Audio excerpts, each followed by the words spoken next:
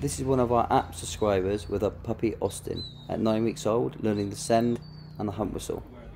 She popped into the game fair on the Gundog app stand recently and was showing off her skills and recall skills with distractions. Fantastic.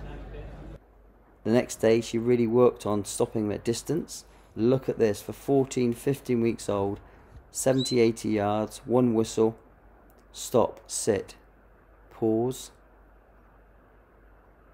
and then recall back. All this can be achieved even in this short period of time, keeping the dog happy, keeping it rewarding, and having the dog that you've always wanted and setting the foundations. She works extremely hard every day on sections of the app to produce this type of dog at this age is truly remarkable but can be achieved by you all with the Gundog app.